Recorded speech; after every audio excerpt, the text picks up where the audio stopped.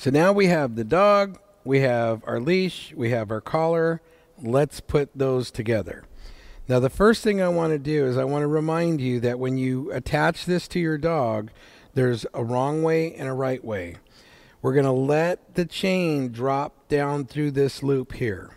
And when it drops down through this loop, we can take our left hand and hold this up, and you can see that the chain is now coming down, up and down through that loop.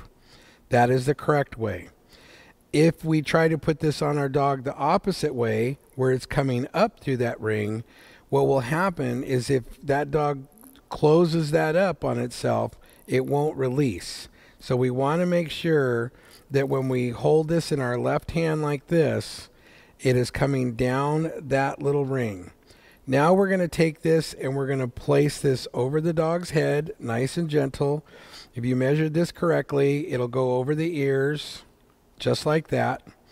And then we can take this to practice by placing this high up on the back of the head.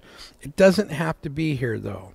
The zone for a correction that the dog understands is anywhere from the occipital region down back into the back.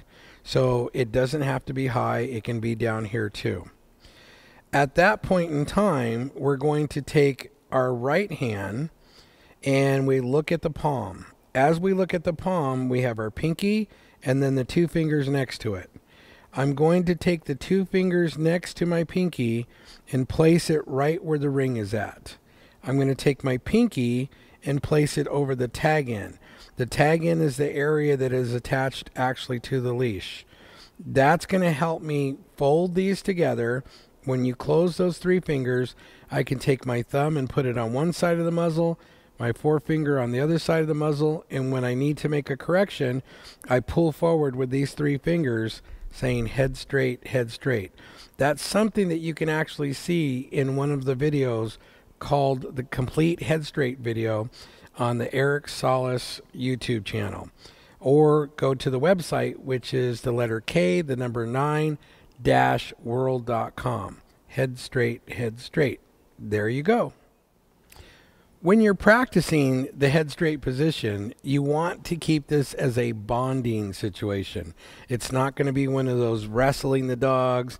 It's not going to be trying to fight with the dog. However, the dog is is and usually will put up a little bit of a fight there because you're starting to become a little bit more demanding. You're starting to take control when the dog is used to being control. So when you first start this, you're going to lightly do this and you just want to pet the dog. Good job. Head straight. Good job. You want to make sure that when they take this head and they move it up, that is the sign for them to let you know that they're in charge of this. You can't make them do anything. So when that muzzle goes up, you make the head straight correction and you take your left hand and you can place this back so it's level again. You should be able to basically move on to some of your next steps where you're going to present this dog to the judge from this position right here. When you're doing that and you're showing all the parts of your dog, I'm still in this head straight position. I still can come under, show the bite. I can do everything that I need to do from this head straight position. You want to give treats, you want to feed the dog on the table, feed the dog on the ground, get this dog comfortable. Massage those legs, desensitize the feet desensitize the head, desensitize the back area for males. All this so when the judge comes, you're going to tell your dog, I got this, I got this, head straight, I'm in charge. And now your dog will stand perfectly for that judge. Now, there's going to be a lot of work in between that. Either go to a workshop or, or go to the online lessons, and we can show you exactly step by step on how to get to this position here. Talk a little bit about lead control because that's important too. When you have a six foot leash here and you're presenting this dog, you don't want to make this a distraction. If I'm presenting this dog to my judge and the judge is starting an approach, I want to be able to control this head. So, what I'm going to do is I'm going to take my right hand and I'm going to rub it underneath the bottom of this leash. It's going to place this right into the head straight position and now I can present this dog for my judge. When the judging is over, when they've examined this dog and they say, let me see this dog down at whatever pattern they're choosing, I need to get this dog onto the ground and to the end of this leash.